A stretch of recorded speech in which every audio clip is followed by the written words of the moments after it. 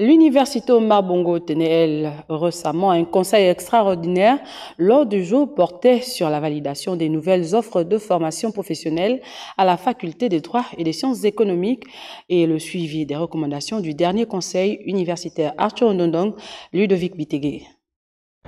Le temple du savoir se mue et se professionnalise davantage à travers ses offres de formation.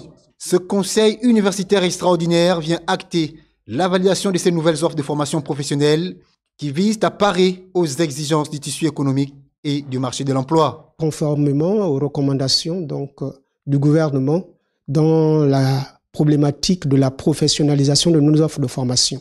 Avec le basculement au LMD, le concours du ministère de l'Enseignement supérieur, en tenant compte également du tissu économique, de l'évolution des nouveaux domaines de compétences, l'université Omar Bongo est en train de mettre en place donc des formations professionnalisantes. Conforter l'ancrage de la licence professionnelle en droit privé, par exemple, une aubaine pour le département de droit et sciences économiques. Nous avons euh, procédé à une refonte euh, des programmes pour tenir compte de nouvelles euh, perspectives d'insertion professionnelle, la demande des entreprises, et nous avons créé de nouveaux parcours. Sur sept départements, il n'y en a que deux qui n'ont pas pu euh, être euh, validés. Avec toute la haute hiérarchie de l'institution universitaire présente, les représentants des enseignants-chercheurs, des syndicats et des étudiants, ce conseil de l'université a le mérite de s'ouvrir désormais à d'autres horizons managériels et partenaires techniques